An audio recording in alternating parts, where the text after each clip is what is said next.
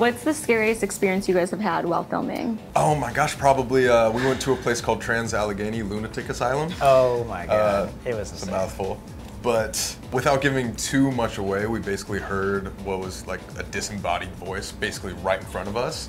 Um, and when we went and checked back the recorder and stuff, it wasn't on there, but our cameras caught an actual voice saying like the name of the person who was haunting the place, like right in front of us. Basically, we heard the voice of another person in the same room, like two feet away from us, Mm-hmm. in like our face. It was like the craziest sound we've ever heard in our life, and it was so human-like that it actually was like chilling. It made no sense.